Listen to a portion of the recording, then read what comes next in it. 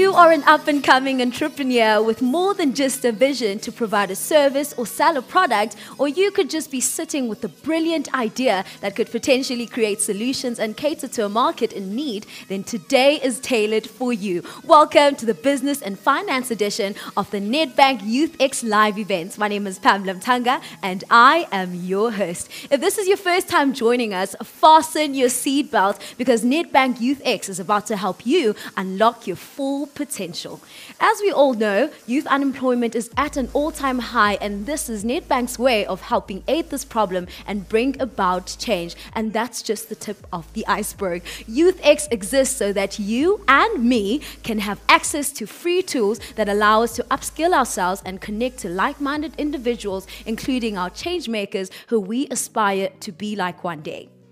I'm talking about the likes of Sho Madjozi, Amanda Dlamini, Candice Chirwa, Rivo Mhlari, Rich Mnisi, and Theo Baloyi, who are all seasoned changemakers dedicated to making their mark in South Africa.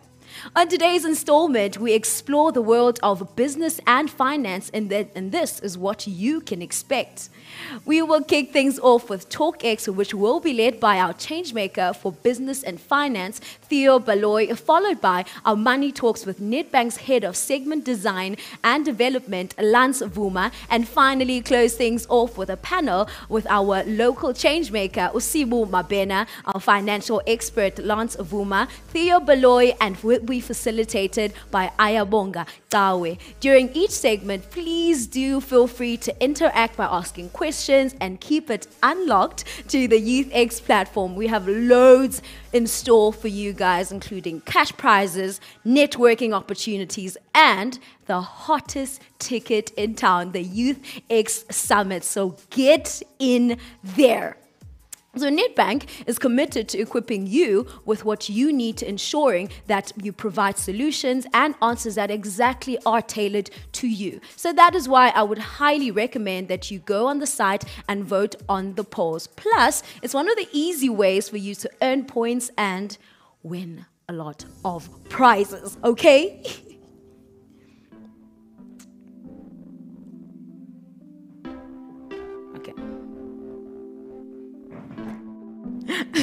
After leaving his job as a chartered accountant abroad, he started his business in his uncle's house. Today, that business has become a household name that is responsible for sustainable job creation and reigniting hope in African people. Introducing the founder of Bathu and Nedbank's changemaker for business and finance, Theo Baloyi, who will be sharing his journey with us and letting you in on how you can unlock your full potential with Nedbank Youth X and more. Take a look.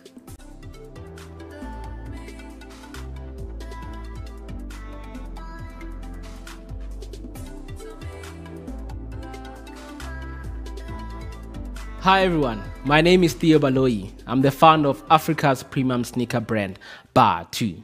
And today I want to talk to you about maximizing opportunities. Before I start about that, let me tell you a little bit about, myself. I matriculated in 2008 and came to Johannesburg and to live in Alexandra with my uncle to further my studies in accounting. And the way I started that was that I come from a background that was not so privileged. My dad decided to to sell his car to fund my tuition. For me, that was an opportunity for me to start and to fuel my dreams. And when I got to varsity, because I understood where I was coming from, living with my uncle in Alexandra, because my parents didn't have enough funds to fund for my tuition and pay for my accommodation, I understood my background. I decided to maximize my opportunity to study and to study become accounting sciences by literally putting everything else that I've got into this opportunity of fueling my dreams. When I got to varsity, I studied so hard that I got a 100% bursary for my tuition. And when I was doing my undergrad in accounting sciences, myself and my best mate, Andrew Lally, we decided to start a perfume business to really help fund our lifestyle at the time, or to also earn extra cash as a form of allowance. And what I did then is that I told my parents not to send me any allowance because I have got this business to fund. Like any other business when you start, I didn't have the funds to start my business. Therefore, that was my problem. I had the concept, but I didn't have the money to fund it. And the way I came about funding that business, we went to a friend of ours who was living in, in Alexandra 2nd Avenue. We asked him to give us his stock on consignment. He used to sell packages of ties, cufflinks, and pocket square. We went to him, asked him to give us his stock on consignment, and then we added our own um, markup to make profit. And with the proceeds from that business, we started the perfume business. And how we came about the concepts that having lived in Alexandra, we realized a big opportunity around consumer lifestyle because Growing up in a township, people liked dressing up, but not everyone had the ability or the privilege of buying expensive premium cologne brands. So we decided to fund a cologne business that is not so expensive. For us, that was an opportunity to really penetrate the, consume, the, the cosmetic business. And how we raised the funding was very genius because we had to go get stock on consignment of ties, pocket squares, and cufflinks, and we used the proceed to start that business. So the lesson from that is that sometimes you don't necessarily need to have money to start a business. You need to come up with concepts that don't cost you money to fund the business or to generate money. So while I was studying at undergrad PwC, the second year of my studying BCom Accounting Sciences, I became the top accounting student of the year. And the very same year, PricewaterhouseCoopers came to our to a bursary scheme, which was Tomorrow Trust, looking for an accounting student to sponsor. And obvious, for that year, I was the top accounting student. For me, that was another opportunity for me to go work for a great firm. When I got to PwC, I was employed in a one year internship program. And when I got there, I literally learned as much as I can, gave it my best shot, invested in all the projects that were thrown to me. And each and every project was an opportunity.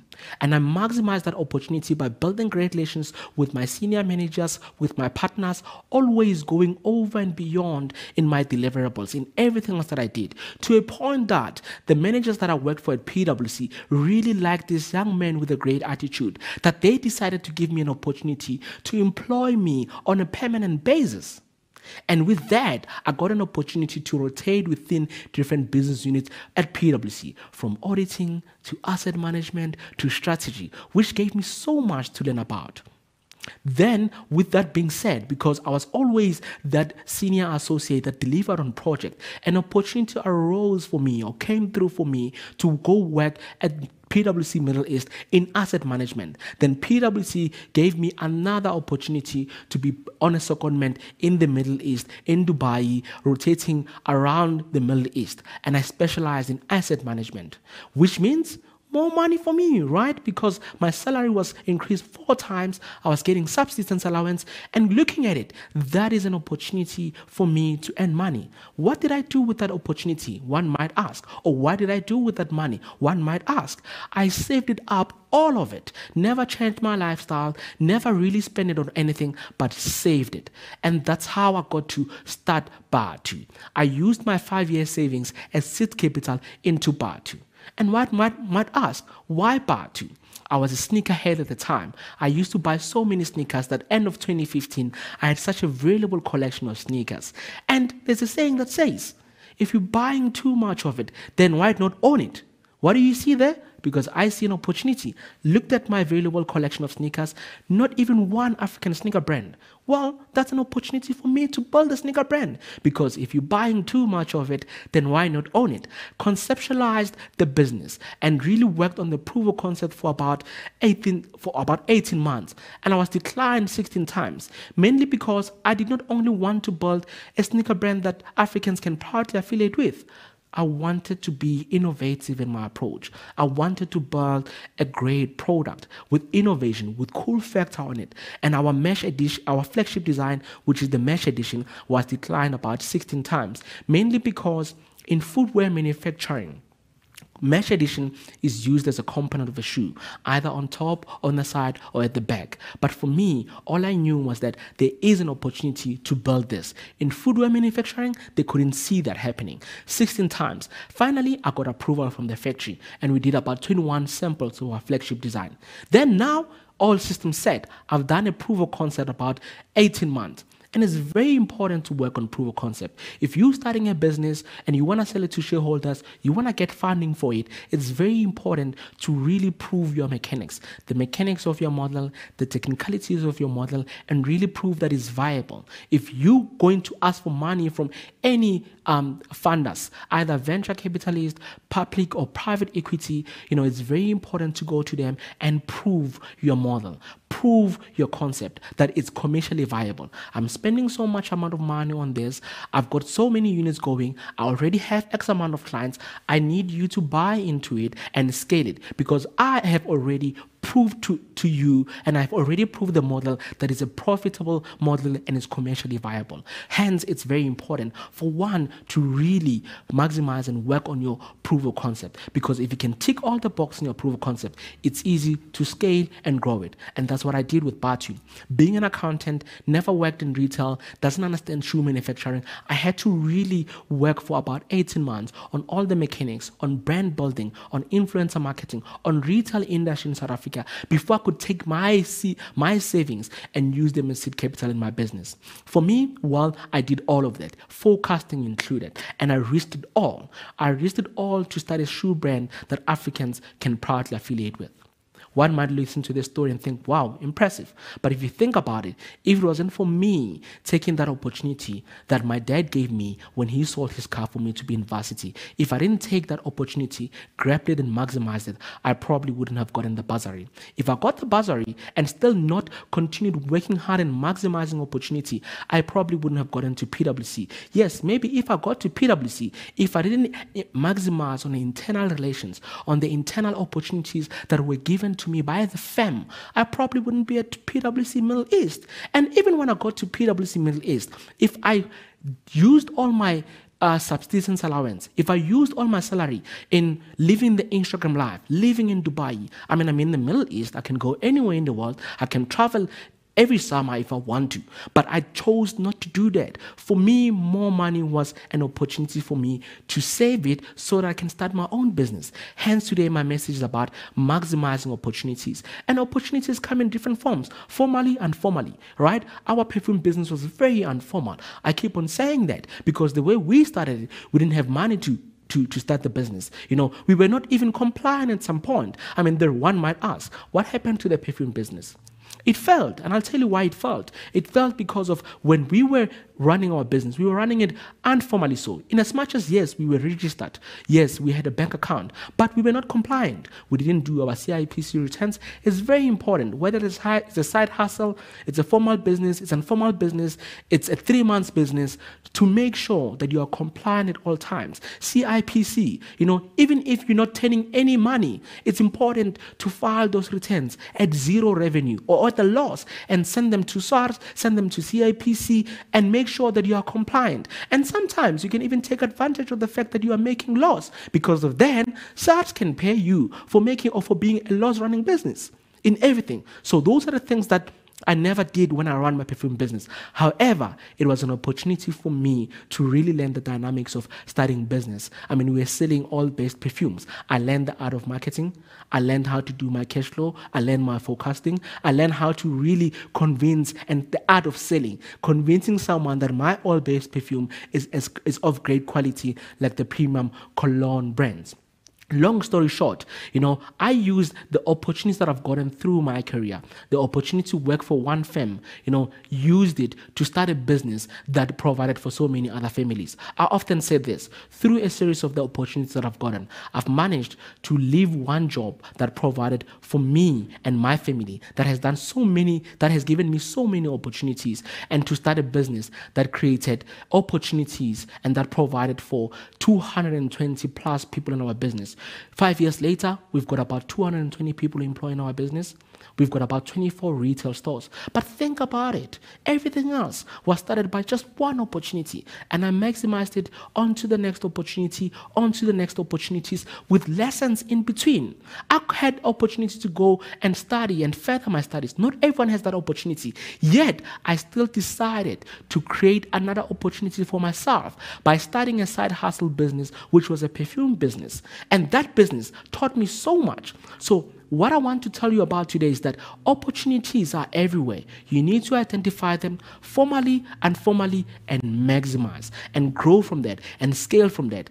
But let me tell you something sometimes opportunities require a lot of and huge amount of sacrifice and compromising. Compromising maybe on friendships, compromising maybe on any other fun activities, or even sometimes your social life. But it's very important to strike a balance. Really know when to strike a balance, really know when to sacrifice and compromise in when it comes to opportunities. In that way, you will be able to scale, you will be able to create more opportunities and grow from that. So it's very important for one to really work on that. And I want to emphasize on the importance of really doing a POC and moving from the POC phase and going implementation and launch and scaling from that. Because of once you've done POC, whether at POC level, proof of concept level, you've gotten funding or you've ticked all the boxes, you've now seen that your business is commercially viable. It's very important that when you go on trade, that when you start generating revenue, all the proceed of your revenue, and you need to spend them on the right avenues of a business. Your OPEX care project, your CAPEX project. Really know when to spend and where to spend your money in the business so that you can be able to scale your business. Let me give you a typical example. The first two years of my business, you know, we were training all over South Africa with offers from all the retailers that you can think of. All the hubs in retail wanted us, wanted to have Bathu in their retail malls. I said no to that, mainly because I had that opportunity to build you know, my working capital. I was a high turnover business with minimal cost. And that really helped me scale after year two because with the working capital I've had, I was now ready to go into retail. And when I went into retail, it has afforded me an opportunity to scale and to grow my business model.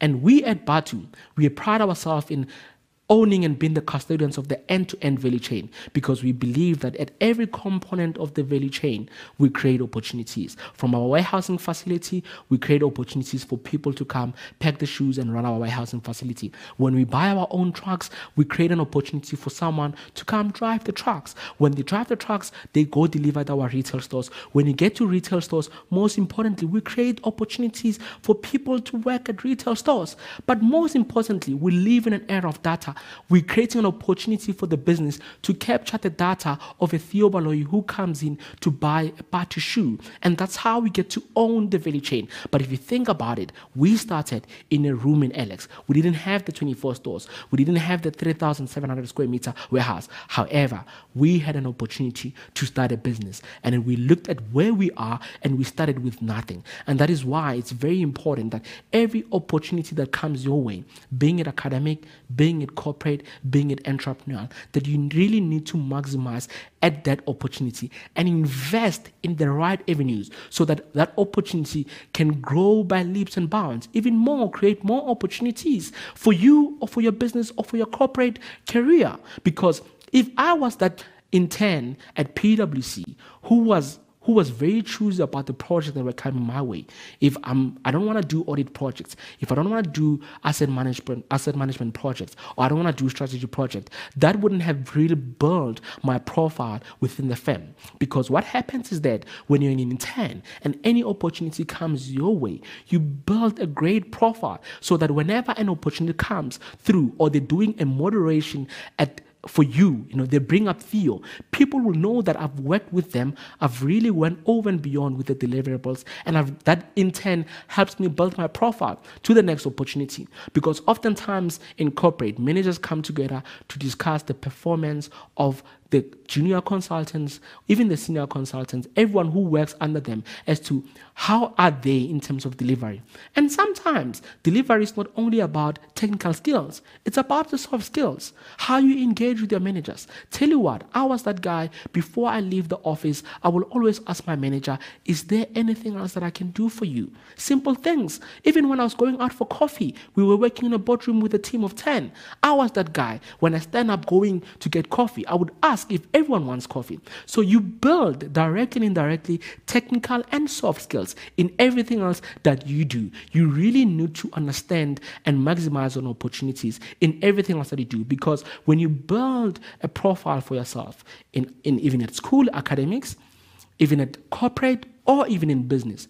That really helps you build your credentials around your professional brand. And when you've got that profile, right, you can diversify or even more opportunities can lean your way because of the profile and the credentials that you've gotten. You know, I mean, throughout my business, I've gotten so many accolades, right? But yet I started in a room in Alex. And those accolades really build the profile that I that I have for my business, or the, it builds the profile for Theo Baloyi and the profile for Bathu as to we are a reliable business. And that thing on its own, when you are reliable and you've got great credentials, can bring so many opportunities your way. And when you've got so many opportunities, then you can now diversify, mainly because of you've really built your profile in everything else that you do.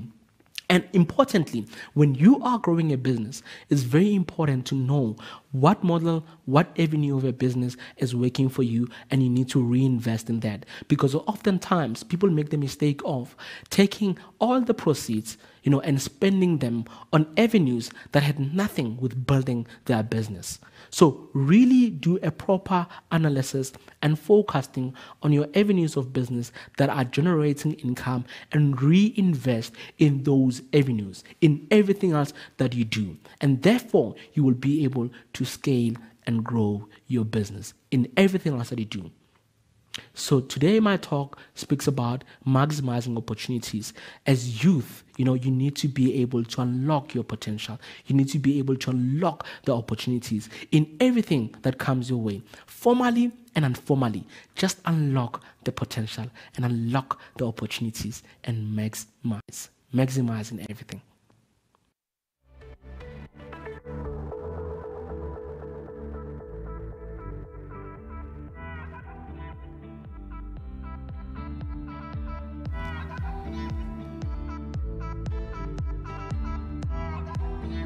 You truly have to believe in your vision for you to leave the security that comes with employment to pursue entrepreneurial endeavors. I'm truly inspired. Thank you for sharing your journey and that wealth of knowledge. Thank you, Pam. Amazing. So it's time for us to jump straight into the Q&A. Hit us up on the YouthX platform uh, with any questions pertaining to the Immaculate Talk that Theo just gave or business advice that you may want Theo to give you based on your business. I can see comments in our comment section, and I really, really enjoy that you guys have um, been engaging throughout. I have a couple of comments before I jump straight into Yep. uh, the questions. His journey is testament to the saying, those who humble themselves will be lifted. Amazing. I think also that speaks to how you were making coffee for everyone else and asking. That that's a, that's beautiful. I just get up and go make coffee. You know? Well, I just I- learned something. yeah, I mean, I think growing up, you know, in the township, that's one thing that we always, you Hmm. know, uh, had. It was embodied in us, either helping out a neighbor Hmm. or an elderly on the streets. You know, it's always about that. You know, just being inclusive in everything that you do. Mm, Yeah. beautiful, beautiful. So another one um, from okay, Avuile, not Dada.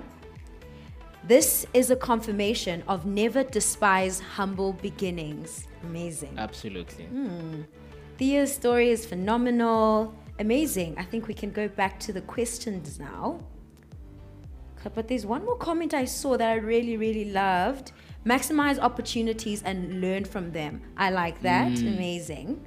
Um, yeah, amazing. Thank you so much. And one more. I'm happy. This is the one. I'm happy you have also spoken about the no's you received because that's where most of us get demotivated and end up not seeing the dream through. Thank you so much. Thank you. Thank you. Mm, I love that. Okay, so let's go straight into the questions. You guys can keep them coming on the YouthX platform because remember, when you ask a question, you earn points. And if you earn points, you win prizes. So the question reads In order to start a small business, you need to identify a need and should fulfill this need. You were a sneakerhead, but what the gap the gap that you saw, uh, you uh, you identified to pursue a sneaker business. Okay, okay, let's read that again. Let's try that again.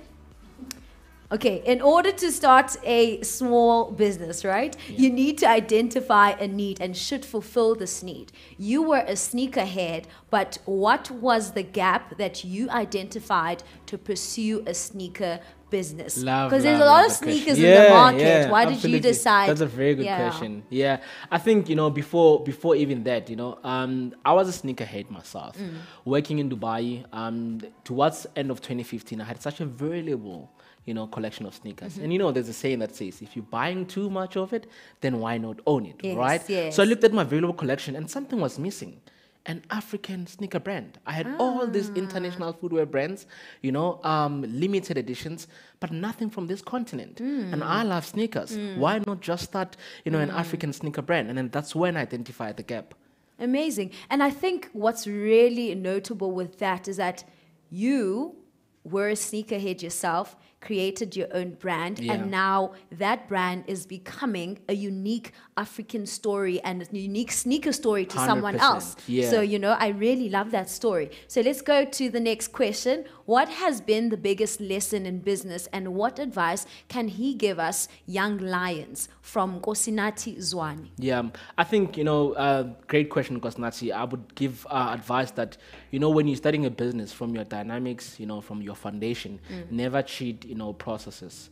Never cheat the building blocks. It doesn't matter whether you know you need it now or not, but try to really, you know, um, put your the foundation of a bit of your value chain, you know, from like the utmost quality and doing it the right processes. You know, um, never cheat your foundation. So when you're starting your business, always makes always make sure that your foundation is well built. You know, your value chain is well built because if you don't do that, two three years later when you're going through collapse along lo- the yeah when you're going through scaling and growing the business, it will collapse because of your foundation was cheated. Amazing. So do not cheat the foundation. Okay. Uh, the next question is How did you go about employing your management team?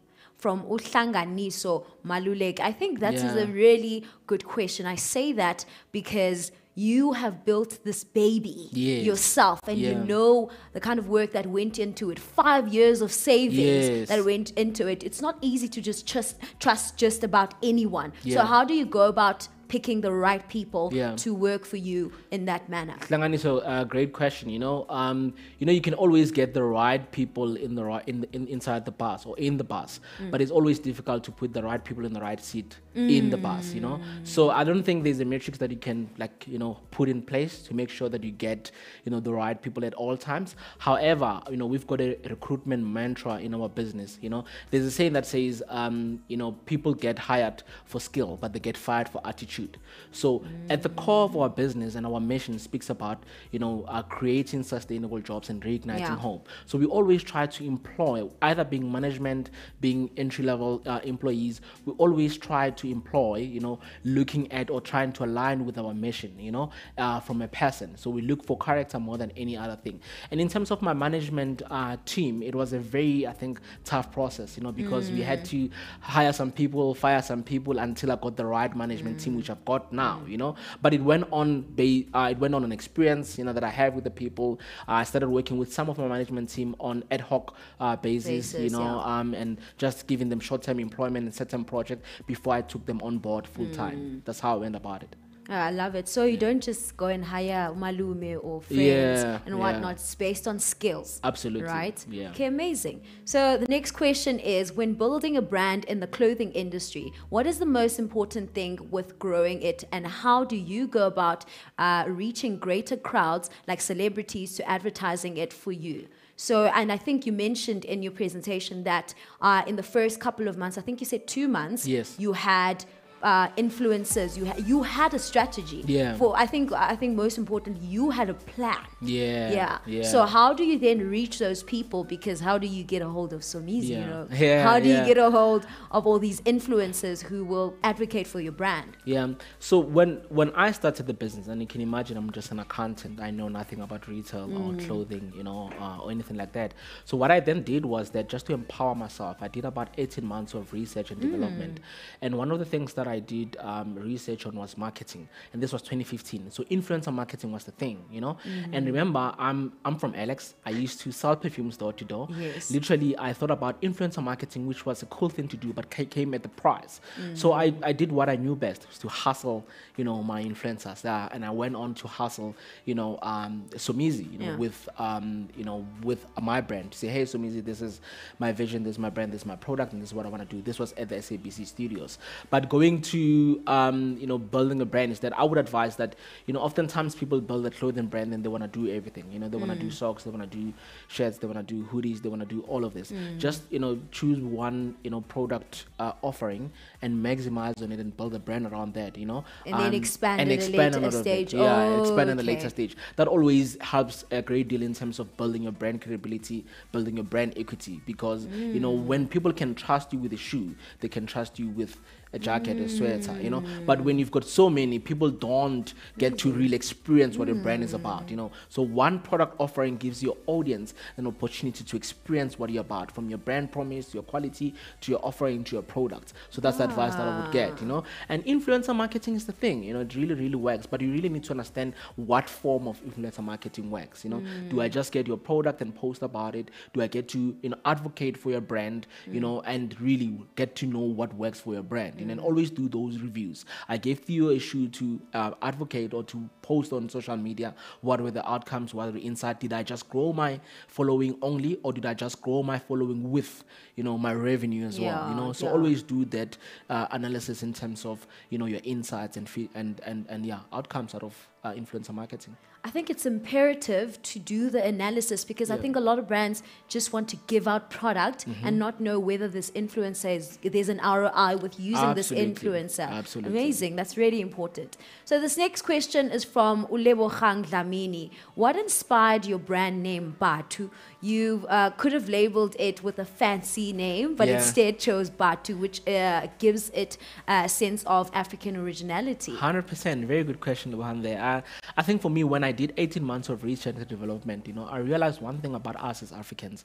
Africa alone is known to be a, co- a continent that is filled with so much heritage, uh, different ways of speaking, and different ways of eating. You know, I mean, look down at South Africa, a rainbow nation, our rainbow nation dream, right? But what are we doing in terms of embodying the rainbow nation and talking about that, you know, our diversity, you know, mm. and that unity that we always talk about? So we're not doing much as African entrepreneurs to embody that into ecosystems, into value chains, into product offerings or service offerings that the rest of the world can receive. The word Bathu means shoe in South African townships, right? Mm. And it doesn't matter whether you're in Guguletu, Alex, Tembisa, or whether you speak Zulu, Tswana, or Ndebele. Mm. Ibatu, Ibatu, Ibatu. But what are we doing to tell the world about this story? It puts us together. So that's what inspired me to, you know, conceptualize my sneaker brand, to build a business out of it, and tell, you know, um, the world about this beautiful, untold South African story. Ibatu. Yeah. Yeah. Eh, uh, and Ipatu is not a just any shoe. It's Yeah. a stylish shoe. Exactly. Yes, yeah. Ipatu. Hey, What if I Ipatu yo, tell me Ipatu yakho too.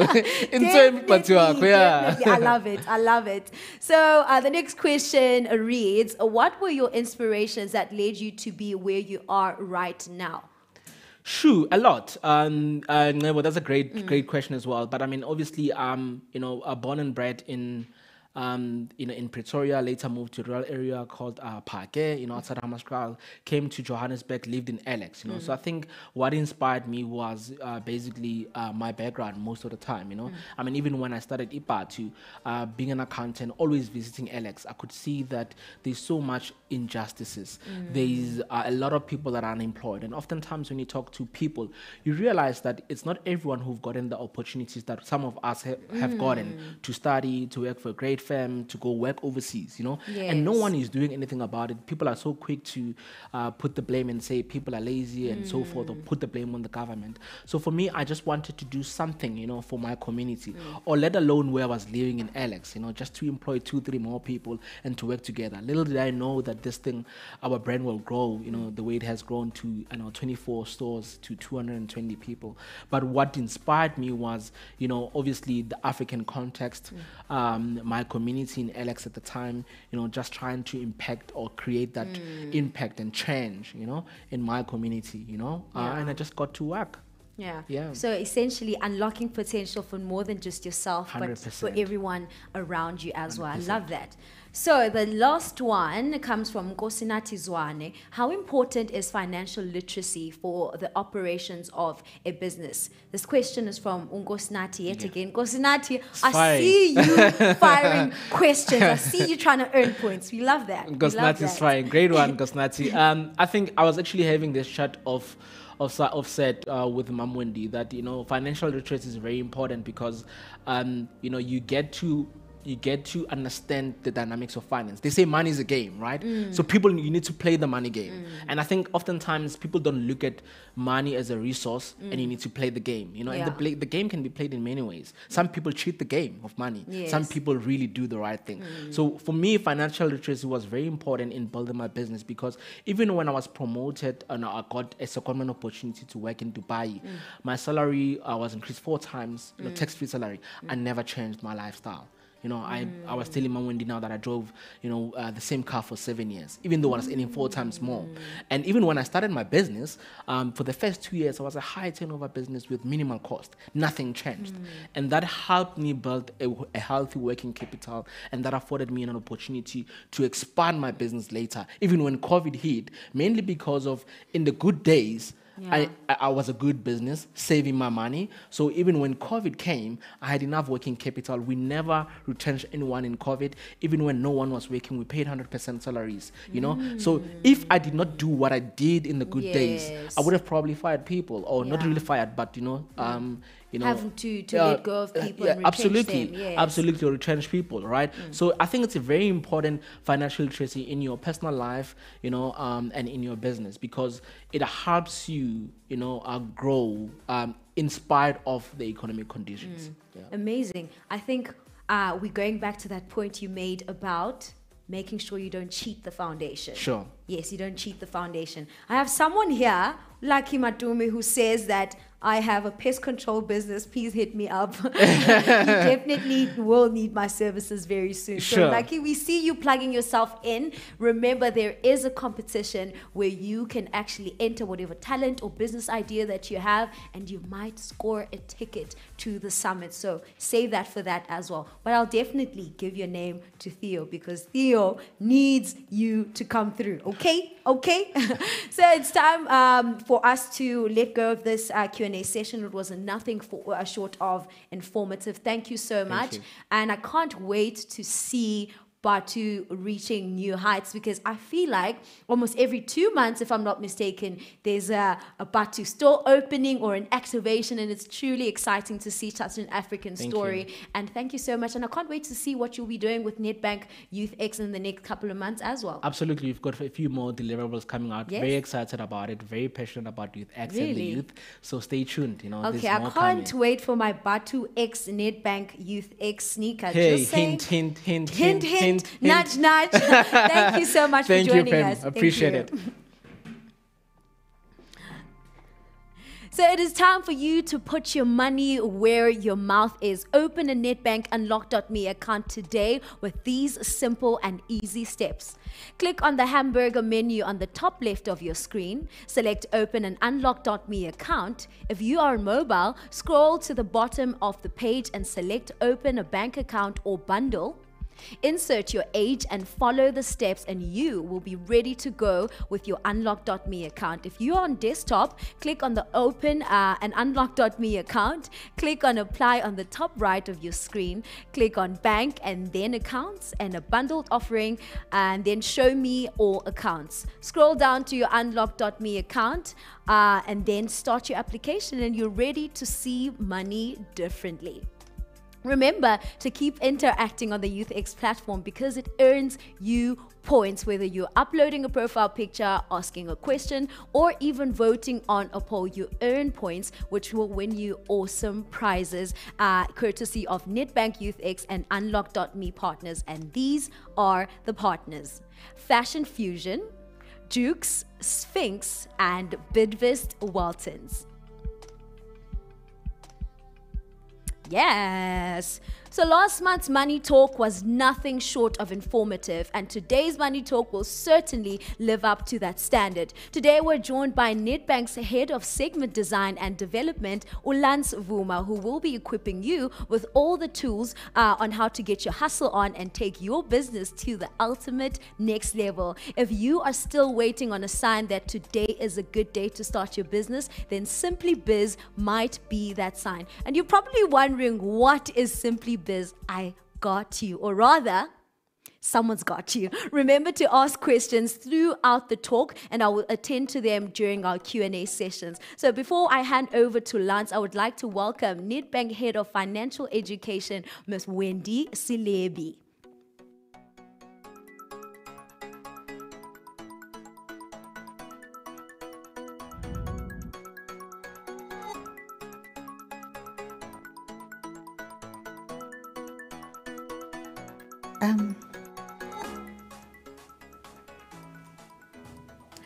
good afternoon. Well, well, well. What a powerful masterclass by Theo. I'm certainly inspired, and I hope you too are inspired to start a side hustle. We wanted to just bring in all the people that didn't make the first masterclass up to date so that you are not lost at where we are going with this financial series. In the first masterclass, we really spoke around discovering your purpose, discovering your why. We spoke about how it's important for you to see your money differently. And um, we also asked you to tell us what are your pain points, what are the topics you'd like us to address.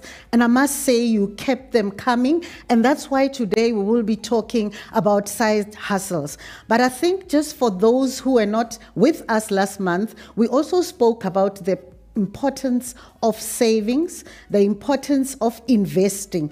And I think Theo unlocked your thinking this afternoon to say that, you know, we don't get successful because of microwave. Uh, you put something in the microwave for three minutes and then you are a billionaire. You start small. You start as an informal trader, you grow your business into small, and then you develop it into a big business. And we are saying we will partner with you throughout that life journey. We are here as money experts who do good to make sure that you begin to see your money differently. And so I'm super excited this afternoon to introduce the second Money Talk host, which will be Lance.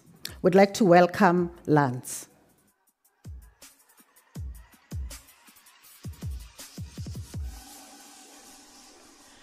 Mam Wendy, thank you so much for having me today. It's my privilege to really speak to our audience this morning. The question that we have at hand is what can you do in 9.58 seconds? Can you make a cup of tea? Can you perhaps send an email or talk to a friend? Maybe send a WhatsApp? Well, let's take a look at what other people can do in 9.58 seconds.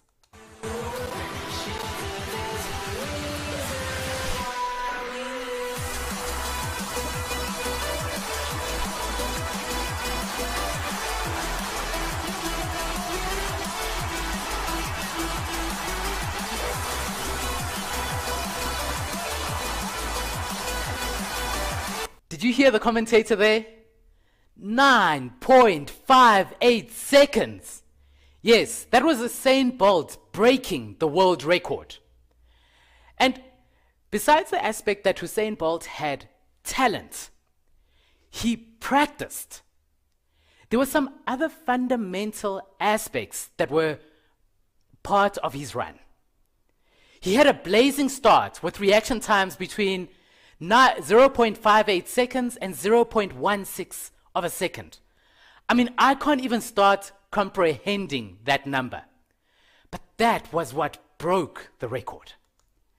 But when we take a look and study his race, experts call what he put, what he had in the line of attack, where his ankle, his knee, his hip, his shoulder were all in one straight line, as you can see in this image.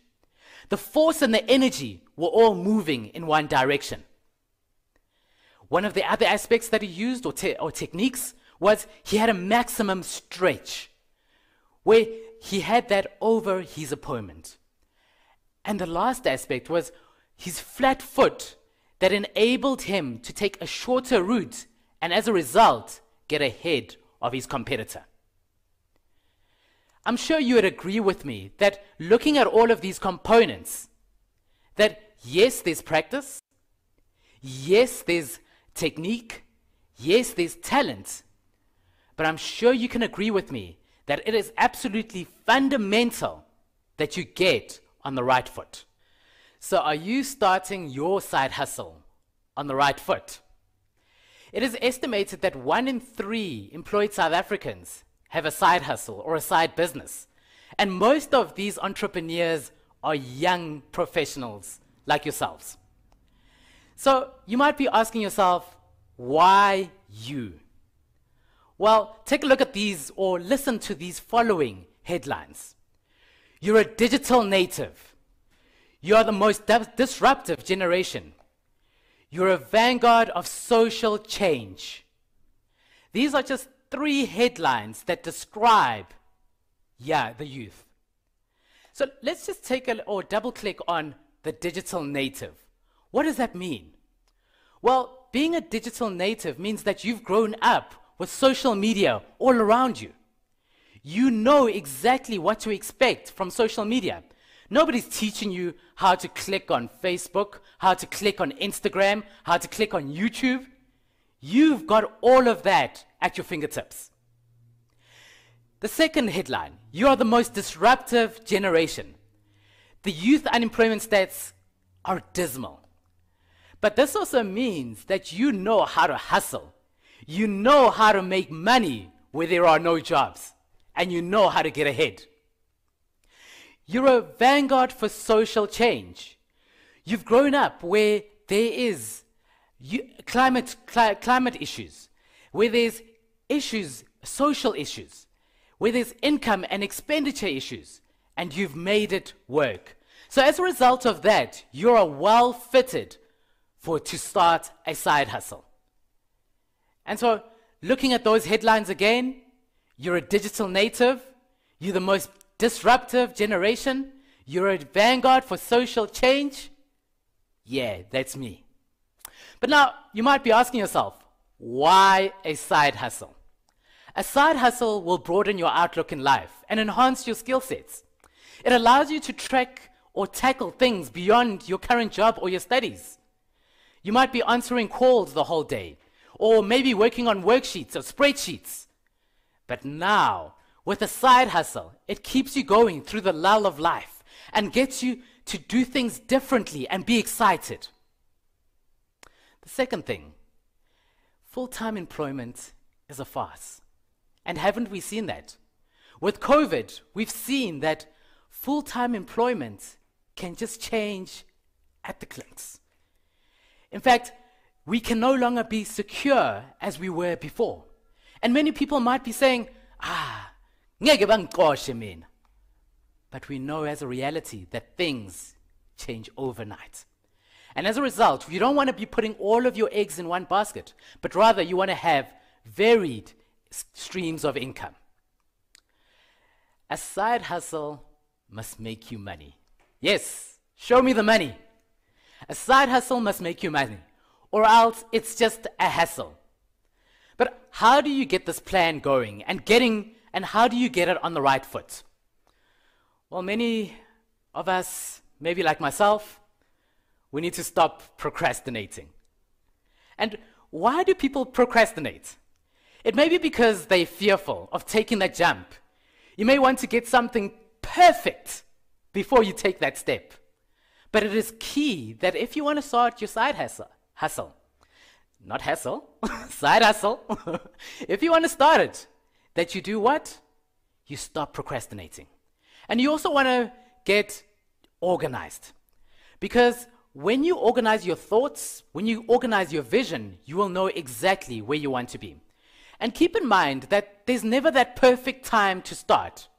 Rather, you want to start now because once you started, you can innovate, you can refine, and therefore you can get more clients that, that, that can help you. You also want to see the need. Most new businesses are not rocket sciences, are not rocket science, which means that it's a need, a day-to-day need that sits with your family and with your friends. So ask yourself, what is this need that I can help with?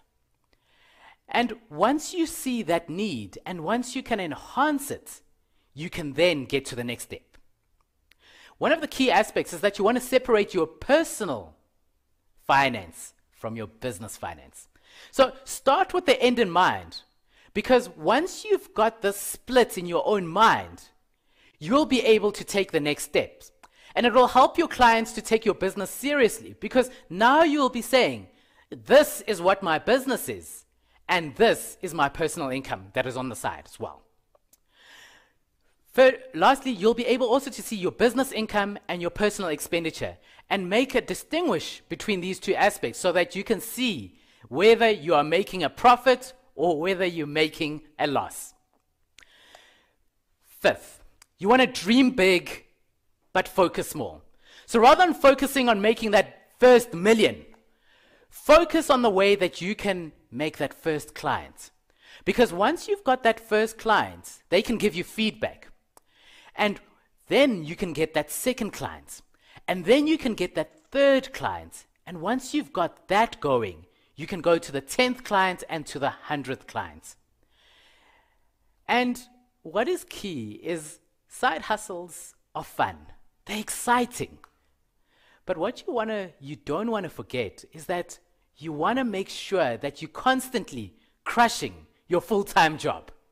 So Focus on being efficient as possible, getting as much done as possible, so that you don't, so that you don't have the question to say, Mam Wendy, why haven't you delivered on that deadline?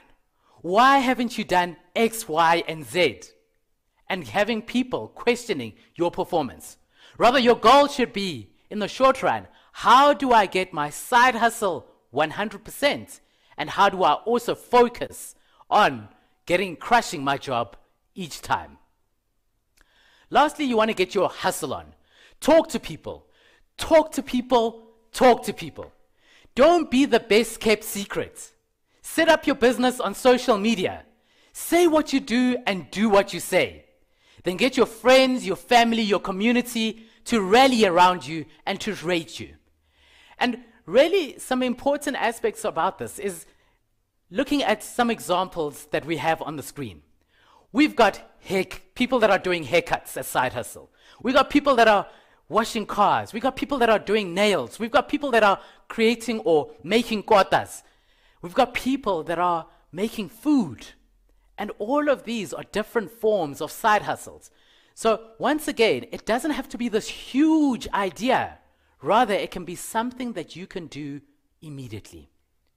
And what is key in all of this is that you need to keep your chin up. You've got to roll with the punches.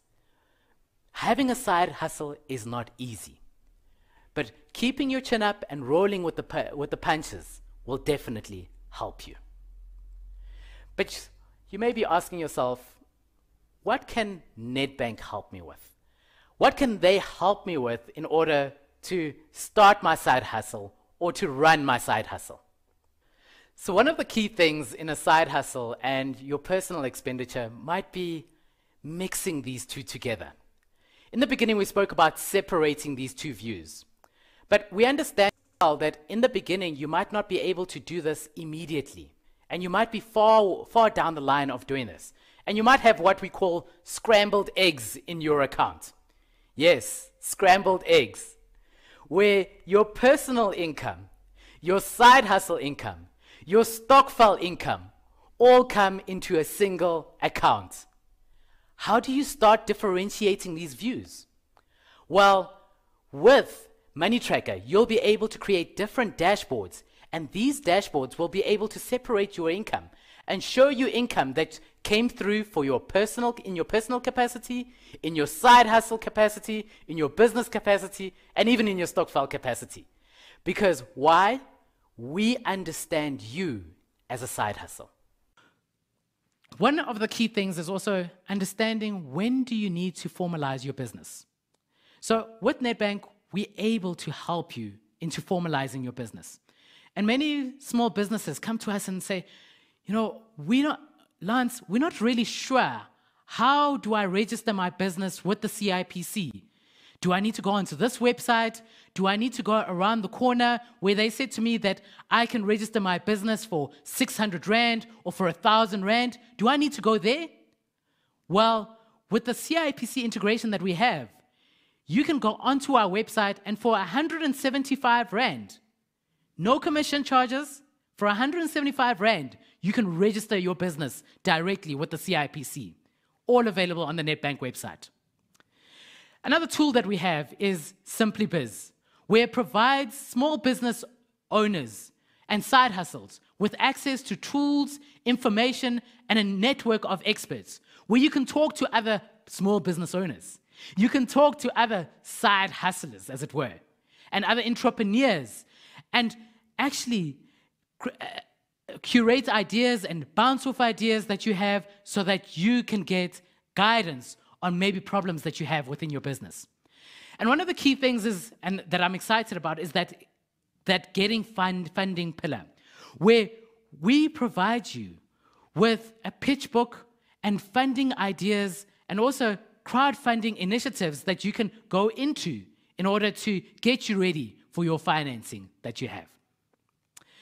Lastly, we have the essential guide, an essential guide that helps you to Think about when do I get an accountant into my business? Am I ready to formalize my business? When do I need to get a tax expert, expert into my business? All of these are available on this essential guide and have been curated for, e for ease of use for you as a small business owner and a side hustle, or should we say, a person that's wanting to start, start your side hustle. So I leave you with this question Are you starting your side hustle on the right foot? Thank you so much.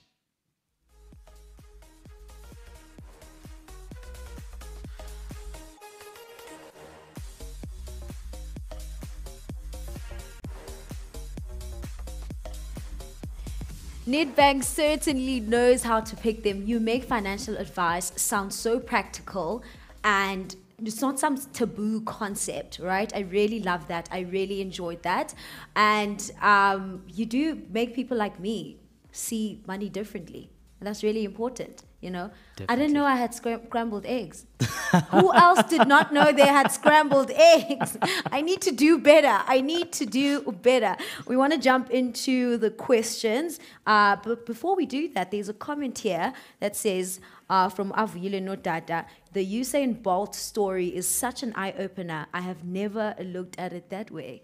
Great. That's amazing. That's amazing. Awesome, awesome. Yeah, let's read the questions um, and see what you guys are asking. What skills do I need to start a side hustle? Do you need any skills? Well, that's a very that's a very good question, mm. Pam. And and you know when you're looking at a side a side hustle and starting a side hustle, one of the key things is that you need to look at your skills as an individual. What are you good at? Mm. If there are certain things that you are good at, use that to your advantage and mm. make sure that you get, you're able to use that in order to, si- to start your side hustle because mm. you, you almost want to have an advantage. You, you don't want to do something that you regret. You want to do something that you're really good at. Look at your skill set, look at um, what people are always talking about and saying, Pam, you know, you know, re- you're really good at this. Mm. Use that as a foundation in order to start your side hustle or to see that opportunity that you need. Oh, amazing. So you don't have to look too far you know and Definitely. obviously if you want to upskill yourself in something before starting a side hustle that's also an option right Definitely. oh Definitely. amazing amazing so when using the money tracker is it best for me to use my personal account for my small business or should i open a separate business account to manage my finances when i start that's a fantastic yeah, question as well fantastic, yeah. so as, as, as we mentioned in, in, in the insert is that it's, it's really key that you separate your business and your personal spend. Hmm. And as Nedbank, we've got our startup bundle that really helps you with that to say, open up a business account and we will give you six months free banking that we have on there, where we have a relationship banker that can assist you as well in terms of getting your business off the ground. So that is the, the ultimate uh, option where you can say, oh, um, I have my business account, I have my personal account, and in that particular way, you've separated the two. However, if there is an instance where you still have just the personal account that is on there, you can put Money Tracker on top of this view and create those uh, those separate views that are on there. So it's different options that you that, that you definitely have. And you know, because it's our business to understand your business, we we've created those those different um, personas or views that you can have over there. Okay, amazing. I really love that. Okay, so you basically can use the money tracker over your an existing account. One hundred percent. And another thing I heard, you said six months free banking. Yes. How amazing is that? Because I can only imagine in the first six months of your business, you're still scrabbling for capital, you still do not know what you're doing, and Nedbank is out here saying, we can give you six months fee banking. One hundred percent. That is brilliant. If that is not motivation for you guys to start that side hustle and start banking and seeing money differently, I don't know what is. Okay? so the next question is How do I know if a business idea is going to prof- be profitable? Sure. That is, and, and that is a very tough one because, you know, um, when we look at the failure rates of small businesses, there's a high failure rate that is on there. So I don't think there's an absence of, of, of good ideas that are sitting out there. But what one needs to do is that look at that need. So start off from a point of view that make sure that you are solving for a need. Yes. Once you make sure that you are solving for that need and you perhaps get your first clients, they can give you that feedback and you can pivot from there. Because it's not, you're not going to get it right exactly that first time. And as Theo was talking about earlier, you know, you almost need that minimal viable product or the POC. Mm. Once you've got that minimal viable product, you can tell whether, sure, do these people really like my kotas or not? Yes. Do they really like what I'm offering? And once you got that, you can tell whether the business idea is going to be profitable expanding. or not. 100% Oh, I, I really love this idea of starting with one product. I'm learning uh, something as well because if you go ahead and just create everything, Kanti people don't even like the spot you're Exactly, in. Exactly. They don't even like that area. So Yes, yeah. no matter how many products you you make making, they just won't buy from you. 100% Now you're stuck Pam. with stock.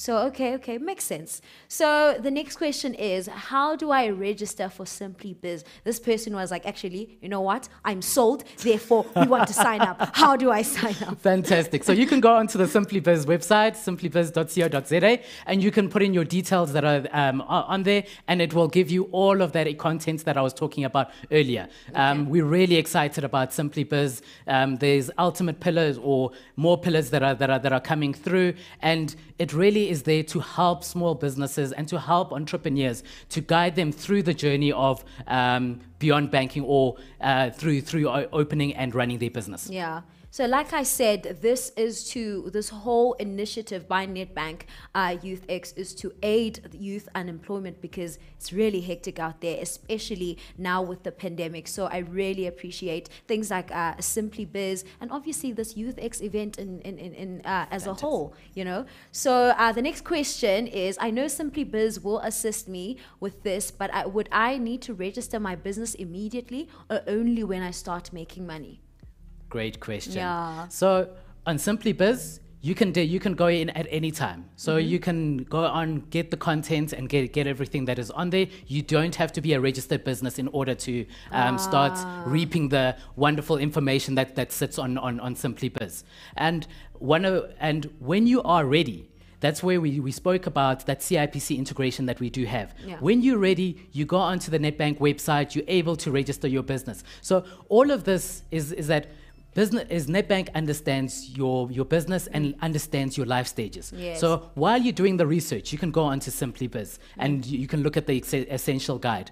Um, when you're ready to register your business, you can go onto the website. And as Theo had also mentioned there, you don't want to be taking shortcuts. So as a result, you'll be able to go onto the Nedbank website, uh, register your business on dot, uh, on uh, with with CIPC, 175 rand, and there we you've got your your your registered business. So really making this journey as easy as possible for entrepreneurs and side hustlers out there. Amazing. two things. I appreciate that you can actually get access to Sim- Simply Biz before you even register your business.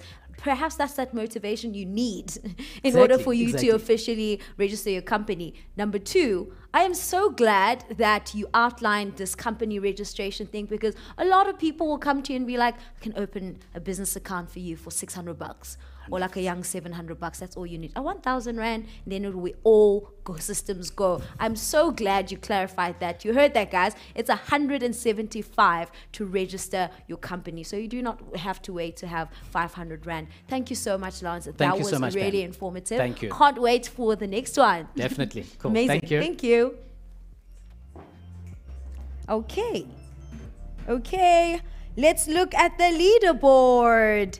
It's looking really tense, if you ask me. It's looking really tense. Uh, let's click on the leaderboard. Okay, there it is. Okay, okay. Lots of wings. Okay, lots of wings is leading uh, at first place. Lucky Matome at 106 points. Uh, Avuyile no dad. I've been seeing you ask questions quite a lot. Girl, that's how you've been earning all these points. Amazing. Guys, please do keep voting, asking questions, and interacting with each other on the Youth X platform because you might walk away with really awesome prizes. So if you want to know, uh, find out more about YouthX, visit the unlock.me website on www.unlock.me.co.za. YouthX can be found under the potential pillar. You have access to blogs, vlogs, and you can find out about upcoming YouthX live events as well. The website is catered to you, and you can select a category that is relevant to your passion as well. We have six categories in total, and they are arts and entertainment, business and finance, fi- uh, fashion rather, and beauty, social good and sustainability, sports and wellness, and tech and innovation. We will be opening the Youth X Awards between June and July, where you can submit your entry and win prizes to unlock your money, potential, and lifestyle.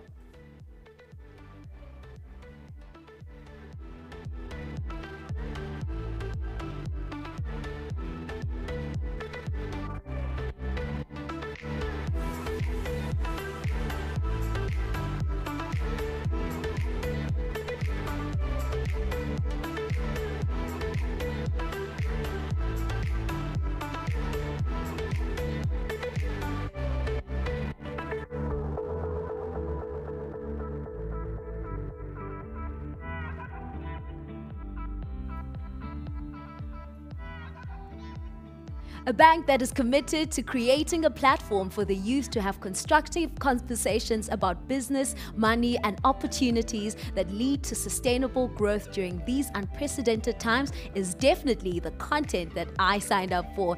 Introducing the Power Panel, our change maker for business and finance, Theo Baloyi. Nedbank's head of segment, design, and development, Lance Vuma. Our local changemaker and the rose amongst the thorns, uh, Sibu Mabena, who is the founder of Duma Collective. And finally, our panel facilitator, Ayabonga Tawe. The stage is yours. Thank you very much, uh, Pam, and welcome to you all uh, to our power panel. And uh, certainly have a very high powered panel uh, this uh, afternoon, and a real pleasure to have uh, all of these uh, very influential and uh, insightful people with us. Uh, good afternoon to you all. Thank you very much uh, for joining us, Theo. I'm going to start off with you. Yeah. Uh, you were you were on here earlier on, Sure. uh, really recounting your journey and uh, some of what contributed to that. We've seen some of your stores really, I guess, you know, we can liken them to stampedes outside of your stores, large queues. Yeah. Um, you spoke about the journey earlier on, um, but when did you start to see the dial switching somewhat? When, when did you start to see that actually we're onto something here and uh, this is a bit bigger than just, uh, I guess, you know, an operation just in Alex? Yeah, I think uh, just right after we launched our, you know, proof of concept. I mean, when we did proof of concept, we started off with about hundred pairs, right? And obviously we sold that just amongst friends and my close network. And when we launched the brand, we launched with 400 pairs, you know. Um, just after that, you know, and then we went on to the thousands and thousands and thousands. Then I knew that we were onto something, you know, and that's when I thought about, look, man, at the time we were very informal, you know, or informal running the business. It's like I started thinking about how do I actually put a structure in place that is going to be able to accommodate and facilitate all of this growth. You know, Mm. yeah. Did somebody force you to, to pay 800 rand to register as well? No, no, no, I was I was quite smart, so I, I, I often like to I, I want to do things myself. So I actually Sure. went straight to CIPC and paid. I think at the time it was just under 150 or something Sure, like that. You know, sure, sure. yeah, yeah. Sibu, similar journey for you and uh, Duma Collective. Uh, you, you've been able to bring together some of your key passions. Mm-hmm. Um, and I'm quite interested. I mean, we often tell young people don't follow your passions, follow Yeah. your money, Yeah. uh, and where you might have a high likelihood of making money. But, but you've been able to bring together these passions um, into uh, Duma Collective. Talk to us about the genesis of, uh, of your business and some of the things that you faced. So I must say, I've been very fortunate to be able to profit off of my passions. Mm. Um, some of those being dancing, social media. I love people. Um, I'm always engaging with different people in different spaces. So artists, um, marketing managers, and I think I got to a place where the people I knew wanted to know each other. So I found a way to connect the dots. And create properties out of my network um, to be able to make money and monetize those things. So some of the things I did as a teenager was I was a dance coach, Okay. um, and as a dance coach, I'm engaging with people's parents, people's parents who are in corporate spaces. And at a time when I got to varsity, I think, and I started working on projects that I needed funding for, I was able to tap into that network because, hey, Mama Gaspan Money, remember me? I was your child's dance teacher. Sure. Um, I also was a bartender at the Sands for some time, and at the Sands, I was engaging with brand managers um, who I was working with on their social media campaigns for the events they were doing at the Sands. So just as a bartender, I extended myself beyond my call of duty, Sure. so I could be able to learn in a space where at the time Twitter wasn't a really big thing. Facebook was the one leading, and I said, let me be at the forefront of this thing, this new wave, and I started teaching myself early on how to, you know. Um, use the tricks uh, to get objectives uh, achieved and i grew in that space. But whilst i was doing the bartending thing um, i was doing choreography. Whilst i was doing choreography i was also working on events. So i did a lot of different things as a um, as a way to learn and i offered my Sure. services for free at the time so i could bag experience and have a network of people. And now i've taken all of that stuff i was doing as a freelancer and converted it into a really professional operation um, which is now Duma Collective with 30 people doing the same thing. Theo was speaking earlier on about not cheating the process uh, of really building your systems, building that team, uh, which really ensures that you're able to, to do the work that you're doing and it doesn't only fall on you. Yeah. What is your experience of that? I won't lie, it's taken me a very long time to professionalize what was a really high level freelancing operation, I can call it. Um, and these are things we don't know. You know, you, you, you're a creative first, a business person later. Sure. And I think what, what this kind of platform helps with is access to that information to say these are the basics of running a business. You've got to have some kind of financial management system. You've got to have some kind of HR processes. We were discussing that earlier, and he was advising me to say, get yourself an experienced HR practitioner to come in and help you um, put systems in place because you're now growing as a team. What was true with three people is no longer true with 30 people Sure. um, and and financial advice from people who know what they're doing because I'm a creative. Give me a, a problem and I'll give you a creative solution now. Tell me about ledgers, income statements, trial balance. I still don't understand yeah. that, but I think there are enough tools and access to information out there on the internet and a, as a platform as simple as YouthX, you know, um, you can go and access this information. If I knew this five years ago, I think I wouldn't have made some of the mistakes I did. So as you grow, ask Sure. um, and be hungry for information so that you better yourself Mm. as a business because the the business world that we function in doesn't have time for people to not know. Yeah. Exactly, exactly. And people often say, be a sponge, you know, be able to absorb all of those lessons from Yeah. Uh, wherever those lessons are coming from. And I guess, Theo, that, that's, that's the thing with the, the changemaker journey that you are on. Um, Absolutely. you're really trying to speak to Sibu a few Yeah. years ago when Sibu was trying uh, to set up a business that now employs a lot of people. Um, what becomes your responsibility then? Really sharing, I guess, insights from your own Yeah. journey. Uh, for many of the people who are watching this? Hundred percent. Look, man. I mean, I get a lot of you know requests on all my social media platforms. You know, either people who are, you know, young professionals. You know, just got in a graduate program. You know, people just you know want to uh, leave their you know corporate gig into entrepreneurship. People who are in business, or even people that are literally like hustlers. You know, that are Lance now was talking about side hustle that have a side hustle going on. You know, uh, and they ask me about you know uh, how do you go about it. So I think for me, I'm just an advocate for that. You know, just to mm. impart my journey. You know, I'm studying. I used to sell perfumes when I was in Alex doing my undergrad. You know, so I can speak to a student. You know, who's mm. studying towards something, mm. but they've got a side hustle. You know, I mean, I worked for a great firm that took me overseas. I can talk to a person who's in corporate now. You know, uh, for two years or, or so, and you know, I left my job. You know, I can speak to someone who you know is in corporate. They're thinking about you know going into business and so forth. And not only that, I can also speak to an entrepreneur who just got a great thing going on. They just are not sure about how do I scale it. So mm. my responsibility in Youth X is basically to be an advocate for that, to engage, you know, mm. on this platform, and not only that, but to also learn. You know, I mean, Sibu just said very important lessons. Now, you know, we've got other, you know, change makers that I can learn from as well, and you know, the guys from Nedbank as well, Lance, Mamwendi are here to also leverage off that. You know, so mm. basically, you know, we need this kind of platforms to really impart the knowledge. So mine here is to just impart knowledge, to engage, and then to obviously try to help make sure that we build a better South Africa, and most importantly, a better entrepreneurial landscape. Sure, sure. And I guess to reduce the school fees for many of the prospective entrepreneurs Yeah, that are watching this, yeah, right? Because yeah. when you were selling those perfumes, Yeah. you were learning certain lessons there. That was your sweat equity. Absolutely, And, you know, uh, uh, buying those fees and to learn some of some Paid of a what you hefty know price now. for that, my big school fees then, you know. The University of Entrepreneurship. indeed, indeed, indeed. And Lance, I, I guess you know with, with uh, what Sibu was mentioning, you know, this this diversity and breadth of experiences. Uh, is probably the experience of many of the people who are watching this now, uh, who are saying, you know, I'm selling perfumes, you know, I'm se- I'm selling all manner of other things. I'm part of a, you know, uh, maybe a marketing platform where I'm also getting involved there, learning a wide array of skills. Uh, and then you guys come on board with the Youth X to make sure that at least here's another platform where you can learn, but also uh, do what you were mentioning earlier separate your own personal financial life from the financial life of the business. Definitely. And through the, the various platforms that, that, that we do have, um, including YouthX, including um, Simply Biz, and what we're looking to do there and is really to empower the youth. Because now is the opportunity that, that, that we have right now. And who better to learn this from? Is it better to learn it from somebody else, you know, on that you that you don't you don't know as it were, or is not in your uh, age group? Who better to learn it from than from Theo and the people that have actually looked at um, and experienced these things? You know, sold perfume. I feel like I could go sell perfume now at the car train station. Getting that inspired of are. Hey,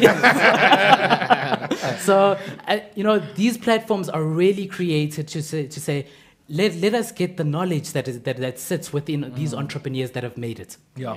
Lots the choice of really, I guess, segmenting the resources. So there's the business and finance, uh, there are those who are in fashion and sustainability and in different spaces. Wh- What was the thinking behind that? Definitely. I, I think, you know, when we look at youth today, they're multifaceted. You know, it's not a person is not one dimensional where they can only think of one thing. And it draws back to that point there that Mam Wendy was talking about earlier, where to say side hustles. We no longer just have to have one job and only one income. There is you you want to have multiple avenues of uh, of income, but you want to use your talents. You want to use all of those talents, being whether you're a dance, uh, what is it, dance fundi, dance coach, choreographer. You want to use that with Sure, social media. You know, bring that collection all together so that you can make a business and have multiple in, uh, um, income streams. And that that really talks to the different um, parameters that, Sure. that that we that we've set up. As a generation, a lot of people say we're digital natives, mobile first. Um, and Sibu, a big part of what you have done is to deploy some of those tools Yeah. um, to effectively grow your business and grow the impact and the footprint of your business. Talk, talk to us about some of the key lessons you've learned, learned in that journey that are able at least to help many of the people who are logged on uh, to this discussion and are thinking about how they use their own platforms and their network around them to be able to at least catapult them into business. you know, I've met some of the coolest people on social media. Um, I think I've I- there are people who I, I, I knew on social media long before I got an opportunity to engage with them in real life, and I still had meaningful engagements with them, things that have converted into business. Um, so I think what we have to see social media as is a, a digital world, as it is called, and a world in the real sense of it being in real life, but from the comfort of wherever you are in the palm of your hand. So I think uh, uh, what traditionally was so difficult to access in terms of people or an opportunity or a learning environment, you're now able to do on your phone. So I believe there are very little excuses for us to not succeed as young people any idea that we have, there's something available on the internet to make that idea happen. Hmm. Anyone who wants to learn how to develop an app, you go onto YouTube. How to develop an app, you find the information there. You want to learn how to code, you find it there. You hmm. want to learn how to stitch something, you find it there. Heck, you want to learn how to bake banana bread. Go onto Instagram, there are thousands of hmm. people who have recipes. So using your digital platforms to generate an income out of the things you love to do has never been easier. Using the digital platforms to access information has never been easier. By virtue of the fact that so many people are tuned in to this event, Right. um, without us having to accommodate 250 people only at an FNB stadium because of COVID regulations, is testament to the fact that anything can happen just from the palm of your hands. Yeah. Sibu, I've gone on, watched the tutorial um, on how to do makeup. I now know I'm an ace at doing makeup. But I still work for Sibu. and we're talking about this outside, which Yes, is, we you know, um, many of us started our own businesses um, while in the employ of other people. Sorry, Mm-hmm. former bosses. Um, but but you were saying there's also, I guess, a downside to that and uh, big question marks around commitment Mm-hmm. um, as a starting point and also a place where you can gain the experience that you need before you go out on your own. You know, my dad said something very important to me the other day that he would encourage his employees to work for the business as if they were entrepreneurs themselves so that they can learn enough skills in the entrepreneurial mindset to be able to go out and start their own businesses. So I'm very um, pro exploration, I'm very pro. Um, kind of getting to know all the different skill sets that you have outside of the nine to five that you do. So if you know you're good at makeup, do that. If you're a good DJ, do it. Just don't let it affect the nine to five. You've got to prioritize that which you've committed yourself to doing because the person who employs you has done so in exchange for your commitment and um, dedication to the cause. sure. Because one day when you become a boss, you're going to You're hope that the the people same. you employ are going to do the same thing. So as much as the side hustle is necessary, the side hustle really fosters Mm. um, creativity and being, you know, I- I think living a fuller life. Remember where your bread is buttered. Sure, sure, sure. Theo, the journey can be lonely. Yeah. Um, and in some cases, you might wa- like to think that everybody you employ in your business has the same vision Yeah. for your business or divisions of your business Yeah. Uh, as you do. Uh, and sadly, that's not always the case. Not entirely, you know, and that's something that I've learned, you know, uh, quite early in my business. That, you know, the reality of the situation is, you know, um, you know, not everyone is you, and and people can't be you, because remember, you know, people don't feel the passion that you're feeling that you're feeling inside you. People don't feel the same amount of, um, you know, uh, vision, you know, that you carry, you know, uh, in you. And they're also So- not getting calls from suppliers. Exactly. Yeah. So sometimes I think as leaders, we also need to, you know, um, sort of accommodate where people are coming from and the Mm. people that we've employed, you know, uh, in a sense that, you know, um, they, they, they don't carry the same way that we carry. So even when we engage with them, you know, we need to engage with them at their weight. Sure. You know what I mean? Not at our weight, you know, because Mm. they won't get it. So it's very important to do that. But at the same, with the same breath, you know, uh, like Sibu said, you know, if you are employed to do this, you know, Sure. do it at you know your utmost quality and then even better if you can have that mindset of being an entrepreneur you know Mm. um, in someone's business you know because the day you do decide that you want to go on that journey Sure. you know you already have that mindset going on you know so i think it's it's it's sort of a dual responsibility between Mm. you know leaders entrepreneurs and the people that you know um work for you Yeah. as well yeah You know, Lance, I'm, I'm a big fan of side hustles, um, and uh, and I often, I guess, tend to overstate and become overly optimistic about what people can do with their side hustles. When do you know that you know what? Actually, I tried, but I, it's not working. Yeah, you know? yeah, sure. You know that that's a that's a little bit of a difficult one. Um, others would say um, there's a payback period that you Begazela. you know and, and wow. well, and uh, in, in, in my reading of, of, of, of this, um, Nick Harry, who, who writes a lot about um, side hustles, mentioned that, you know, when you're starting your side hustle, what you want to do is from the onset, Sure. you want to set what are the goals that you want to, or the achievements that you want to have, and then what are the points of failures that will tell you that enough is enough. Mm. So not while we're busy running and we're busy, you know, running everything. Start from the onset to say, okay, if I get to this point and I have not made it by this time, then I need to let it go. Just as your personal goal. There we go. Mm. That's it. That's it. And this can it can be spread not even finan- only mm. financially. It can even be as simple as when I start spending time that is supposed to be spent on my family, and now I'm spending it on my business, Yeah. and they complain.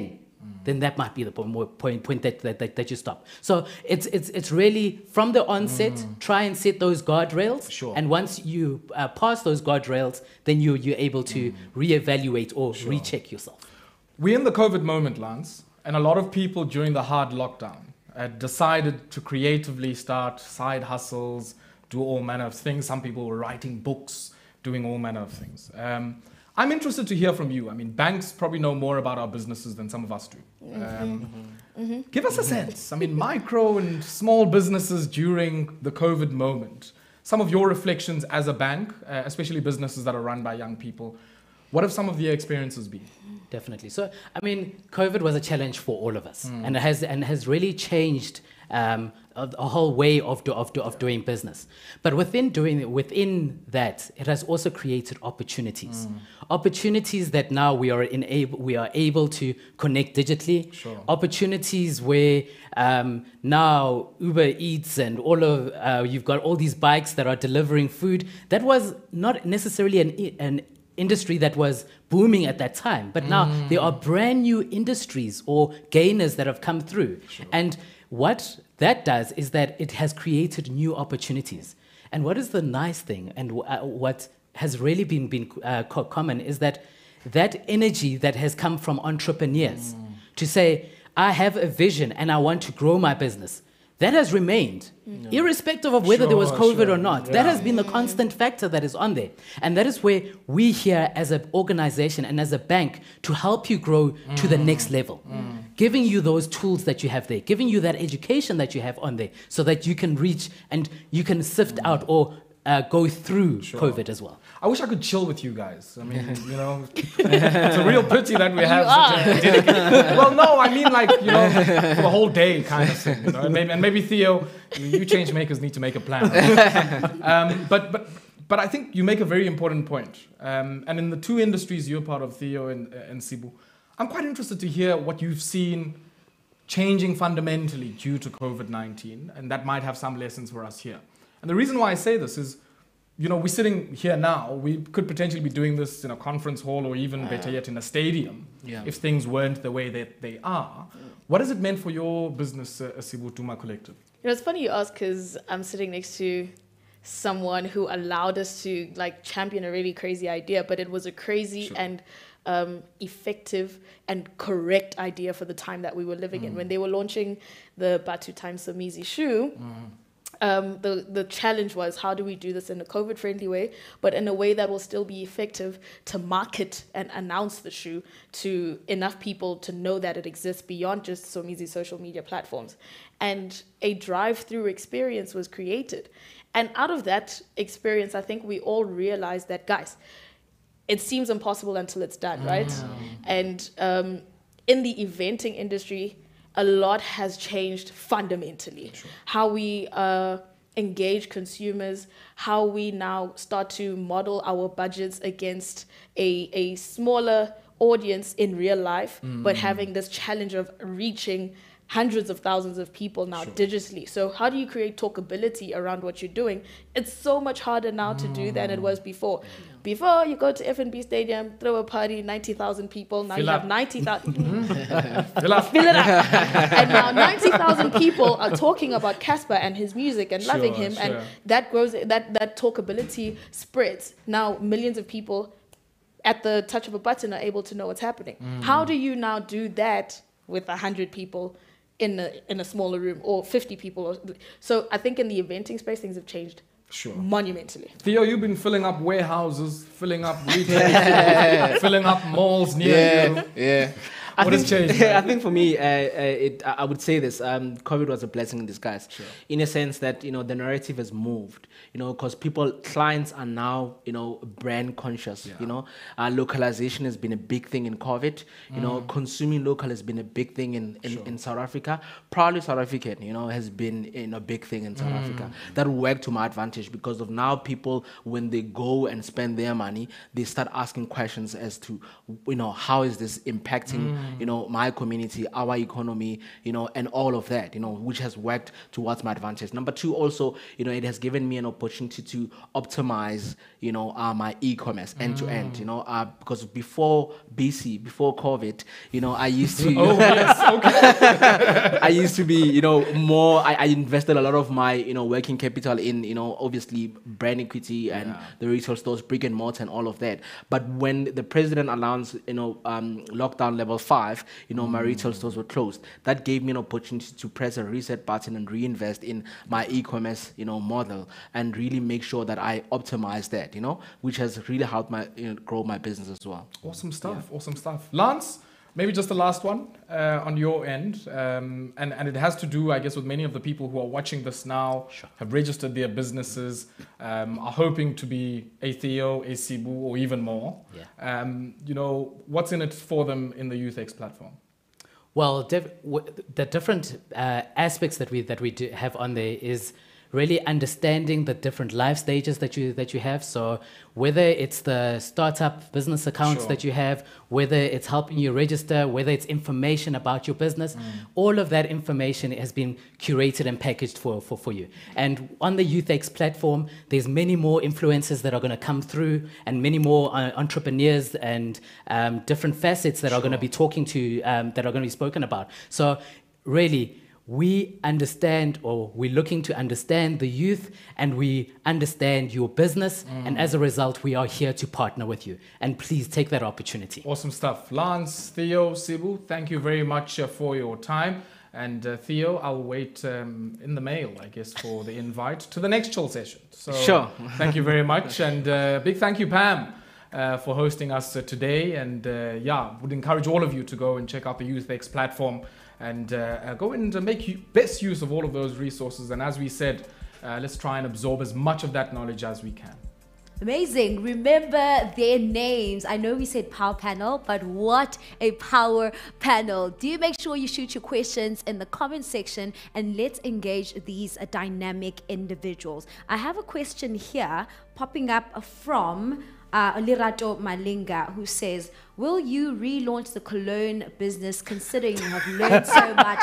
Theo, I would assume that is definitely for you. Yeah, hundred percent. Actually, I've been thinking about it for the longest of time. You know, because we that was a very um, lucrative business. What are you going to call that one? Hey, watch out! Watch out!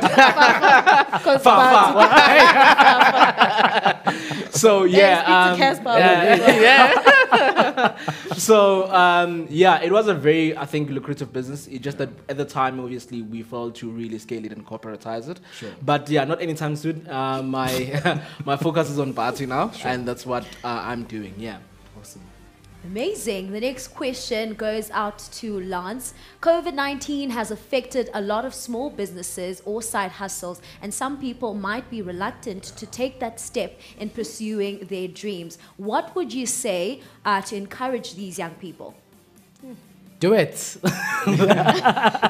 yeah. So as we, as, as we spoke, spoke earlier, it, COVID has definitely dampened a lot of things, but has created opportunities. So look out for those opportunities. And we, we spoke about earlier about now is the time to act. You don't want to become perfect. You don't want to get perfect at something, but rather create that small thing that is there, uh, or meet that small need that is on there. Once you've created that small need, you'll be able to get your MVP and POC. So really, those those items that we've spoken about this morning, take it to heart. You you are in right fit. You're at the right place right now. You have got the knowledge at the finger at your fingertips. So why not?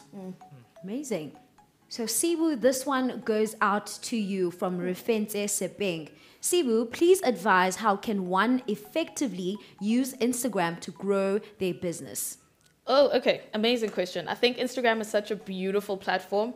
Um, it is a visual platform. So, whatever you're doing, um, showcase it. This is where you're able to take images, you're taking videos, um, you can engage with people. One, I think learning, you're able to connect to people in your industry and what they do and people you can learn from. A lot of people are doing Instagram lives. Tune in, and whilst you're on, comment and whilst you're commenting go and follow because people actually take notice of what people are saying in the comment section i've learned i actually did that i engaged with a guy who works at tiktok in america and now we're friends on instagram and talking in the dms so don't be afraid to slide into the dms for work um, i think secondly For work. so that's from a, a learning and a networking perspective. Secondly, showcasing. Um, use hashtags. Also, go into people's. Don't spam people. Don't do that. But go onto the people you are targeting and go and see how you can communicate with them on this platform called Instagram. I think thirdly, package your content. Package your content in such a way that it is attractive to the people that you're trying to sell to, because people um, people are attracted by things that are beautiful. People are attracted by things that they, they can aspire to. So pay particular attention to how you package your business and what you're trying to tell your audience. Thank you so much. And the next question goes out to Theo. How important is it to have a mentor who, uh, and how does one initiate the conversation of mentorship? I think it's very important to have a mentor, uh, but not for you know um, all the vanity and social media, just to show that you're chilling with who and who. You know, it happens a lot. We see it a lot. People the just want vibes. to, yeah, for the vibes. You know, I hope you're not asking us for the vibes so that you can take a snap. Eh? but anyway, um, I think it's very important because you get to um, really leverage off and um, from their knowledge and tap into their knowledge. And when you do that, oftentimes it allows you to be a step ahead of your peers, you know, to understand whatever industry that you're into, you know, a bit more better. I mean, when I was an accountant, I had a mentor, you know, who worked for a different, you know, obviously bank, you know, and it helped me a lot. By the time I got to PwC, there was a lot of things that I was understanding, you know, beyond other graduates, you know. So it's very important because they are lo- having a mentorship uh, relationship allows you to tap into a world that you wouldn't have gotten, you know, easier. You had to wait for a certain time frame in your career to tap into that world. So mm. if you know, I want to be a broadcaster and I can talk about the world of broadcasting with you know Ayabonga, you know, mm. I already understand before even I get my own show or get to work for mm. any radio station. You know, I already know you know how broadcasting goes like. You know what I mean? So it's really really important. But how did you get your mentor? Uh, through like I was the top accounting student at my bursary fund. So long story short, be attractive to mentors. Yeah. Stand out. Yeah, stand out. Yeah, stand out. And then Yeah. this guy just came through and said, Hey, I want to mentor one uh, accounting student. And they're like, Hey, we've got the best student for you, Sure. Theo Baloyi. But also, he had his priorities in order. Yes. You're a student. Yes, you might be doing all of your other side hustles. Yeah. But pass your books. Yes. And, and I guess yeah, that's that. yeah. That was the priority in that sense. Yeah. Yeah. Amazing. The next question goes out to Lance. Earlier on, you mentioned that a side hustle must make you money. After how long or at what point should you stop investing in a side hustle if you see no money coming in? I think uh, Aya Bonga asked this question. At what De- point do you say, ah, ah? Yeah. De- That's a very interesting question, though. def- def- definitely. And, Because and we're so persistent. That's Yeah. that, that's it. And and it, because a side hustle comes from your passion, it comes from your heart. You know, you you want to start continuing and continuing and continuing until you know there might be a point where everything has burnt around you. But what is key, and and we spoke about it earlier, is really having those guardrails in place. So think about it from the onset and not later on in the in the, in the, in the process. That. Amazing. The next question goes out to Sibu. What are some of the misconceptions that young people have about owning a business that you can correct today? Oh my god. um, a number of them. Yeah. One that the business's money is your money. no, the money that is in your business bank account belongs to the business, mm. and it should be used to better the business, not for you to go and buy a car, buy a house, buy a this, mm. that, and the other. You've still got to function as an employee in your business because if you can take on that um, that thinking that you've got to plan like an employee, you've got to mm. budget like an employee does, even though you're the business owner, you're not just going to spend the money that's in the account. One, two, do not spend the money before the job is done. Mm. You never know what like that. fires may come up. Mm, that your client has paid your deposit, and you think, okay, no, I've spent, let's say it's 10 rand. I've spent 5 rand on the job, the other 5 rand is mine. And then something happens, mm. the kitchen bombs, and you need that 5 rand to complete the job so you can get the other 10 rand. But now you've gone and spent it on a trip to Mauritius because, wow, I'm paid. Um, three, it's not easy. Just because it's something you love to do, it doesn't make it easy. Four, running a business off of your passion is as hard as running a business, period. Um, I think what the biggest lesson I've learned is as a creative, I can do all the creative stuff, but I still have to do the stuff that it takes to run a business HR, legal, finance, all the compliance stuff. I have to have a, a company certificate, I have to have tax, I have to have my tax compliance. Um, for me to be able to engage in business so I can do the creative stuff. So I think a lot of these lessons I learned the hard way, um, but I'm grateful to be here now and I can still continue on into the future running a business the right way. That's amazing. Thanks. the next question goes out to Theo, but I'd also like uh, Sibu to chip in on this one because it's about the business of social media as well. How do you handle unhappy clients if you have any, especially in the digital era and social media where clients jump uh, customer service and go blast a brand for something on social media and it could have been resolved on uh, email or via a phone call? Yeah. Sure, Sibu. No, yeah, customer service. I think for me, when it comes to that, you know, um, I've, I've, I think our business have gone through that many, many times, and we've managed to resolve it and learn from it and build from it, you know. Um, but I've, I think, you know, as a business, you need to be able to be, you know, customer centric, you know, mm. um, and be able to just focus all your energies and all your resources into building a great customer experience, you mm. know. And sometimes a great customer experience can come from, you know, a bad customer service. Because mm. if I fail to deliver a shoe on time, you obviously, you know, um, attack me for it, but then I can create a beautiful experience when I make it up to you. You know what I mean? So there's no right way or, or, or bad way of, or good way of doing it, but I would advise that, you know, businesses try to be more customer centric, you know, and also try to understand where customers are coming from, you know, uh, because this thing of, yeah, we still a small business, you know, please forgive us, you know, this is not happening. Just take it all in and be more customer centric and try to, you know, better the experiences, you know. You won't get them all right, you know, they will they will come when they come, but don't take it personal, you know. Try to understand where the customer is coming from and better your customer experience. And I think in the service business, um, your client is king. At the end of the day, without a client willing to pay for your service, um, there is no business. Mm, so, where a client complains about work, you acknowledge that complaint and you do your best to see what contribution you made to that problem mm, because sometimes it's not just you. Sometimes the client did play a role in things not working out. Mm. But acknowledge your contribution to the problem and then find ways to remedy it because if you don't come to the party to say, I'm sorry that this happened, here's how we're going to fix it, then mm. your client has absolutely no reason to spend their money on you again because everybody is spending money at the end of the day, whether hard earned, whether a budget allocated. People are responsible for this money that is being mm. spent on your business and your service, and you have to treat it as if it were your own money being spent on something that you are buying. Yeah. Amazing. The next question goes out to Theo and Siwe again. How do you turn a vision into action? This one comes from Harry Mboya. Yo, Harry. Um, I think on my end, I would say that you know um, uh, th- there's no metrics to do that. But however, in my end, what I did was that you know uh, when I started my business, I started with an end picture in mind, you know, and worked you know backwards. You know, uh, so you have this end picture that you want to achieve or this vision that you want to achieve, and then you just you know put your head down and work. You know, every day when I started from that room in Alex, when I moved to my 1,000 square meter warehouse, when I employed 10 people, when I employed, employed my third store, you know, before I know it, I was just in the work. You know, um, just focus on the work all the time and just get your head down and do the work. But remember, you have that end picture. Before you know it, it's a complete new vision. You know that you've or new vision and and in business that you've built. You know, so just have the end picture in mind and work. You know, um, backwards.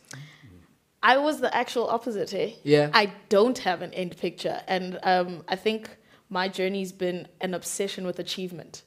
I just wanted to achieve tomorrow's thing. Yeah, and then after achieving that, I'm like, okay, cool, on to the next, achieve the next thing. And with one achievement after the other, um, safe to say I've done a lot of great things. And then as a collective we've done a lot of great things. And I just am so hungry to keep that feeling going. So it's an obsession with achievement um, versus knowing exactly where I'm going. And because I think we are different as people. Yeah, yeah. there are some people who are planners and then there are others who take opportunities and run with them. So mine was to take opportunities as they came and then that generated even more opportunity so it's it's an obsession with doing great work an obsession with um, delivering well an obsession with being happy with the work that we do and that's what has bred more work so that's how I've turned my vision into Nice. an actual business Amazing. For Lance, uh, investing in something I've been strongly interested in, but don't really know what profitable ventures to look into or invest in. Do you have any advice? This one is from Refint. these are some good questions Very good question. Hey, Theo, it's where I'm gonna look to you as well because you're the guys that have got the ideas. but you know, ide- ideas sits sits every, e- everywhere. So and really looking for that need as as we as we were talking about it's it's it's not necessarily the, the rocket science that comes that, that comes from from it. It's not a rocket science idea that that you have that um, needs to be in place in order for you to um, you know start start doing so- something. You can look at a gap that you can see in the market. Once you see that gap see what is the first step that you can do to get there. Invest in that by one researching on uh, that, that industry and what is the need that, that, that is around there. Two making sure that once you've got that or you've researched enough that you are able to put that poc in. So i think it's really really about about that. Just getting getting that need and then mo- moving on that. Um, any ideas guys Uh, no, I'll Okay, pass. before you move Sorry, on, sorry, what's sorry. POC? You just spoke. Oh, sorry, sorry, sorry. POC. Proof of concept. and Theo was talking about it earlier. So really, that's that small proof of concept where you just say, all right, would this idea work in this market? And once you've got that proof of concept, and somebody says, "Ooh, I actually like this," then you can you, you you can take it from from there. I think I think one of the the big um, misconceptions are that everybody wants what we're selling.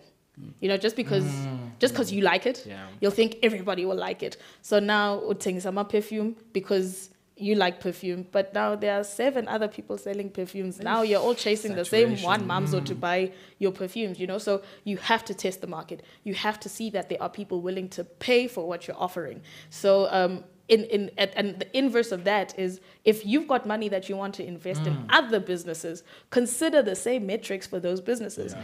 If you're looking at a tech company, are people actually buying into what these people are selling? Mm. If you want to invest in a magwinya operation, la magwinya bawathengisa bawathengisa kuphi? Mm. Esikolweni, but schools are closed. What is the point? Mm. Taxi ranks, okay, they're still operating. That makes sense. So now we're cabanga. Like so, it's, so it's about balancing like the cold, hard analysis of the market, of the numbers, of the feasibility of the thing, Yeah. and aligning that to your interest. So, so don't lead just with your interest, Yeah. uh, because you might run the risk of losing a lot of money. Amazing.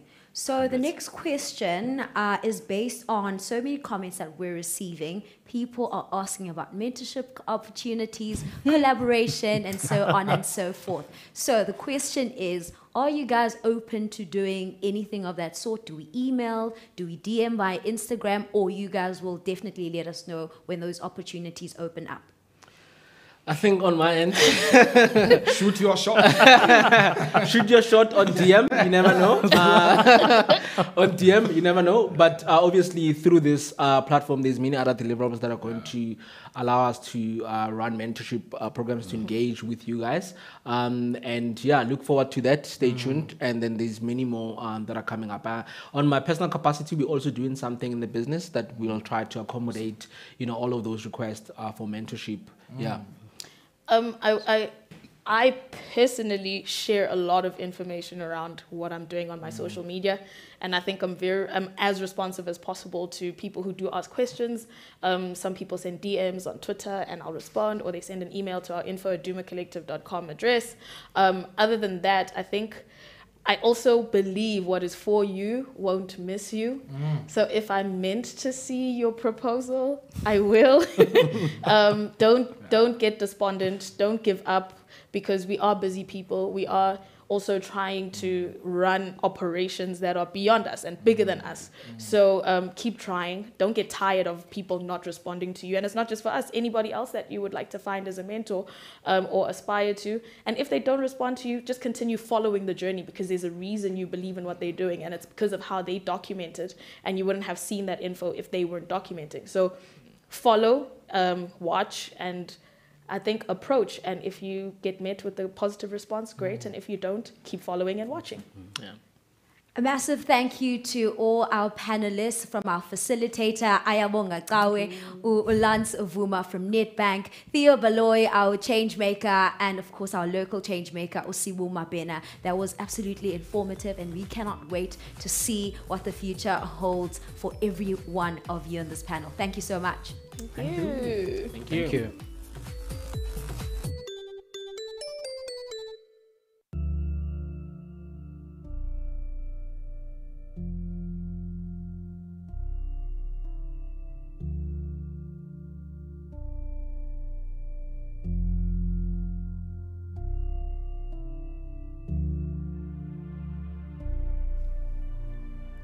I cannot express how much I enjoyed today's session and I wish we had more time. But as my people would say, into iyahlola, which translates to all good things come to an end. But do not despair. And next month's YouthX Live event will be just as informative. I hope the wealth of knowledge that was shared here today got you thinking about your why and how you can start seeing money differently.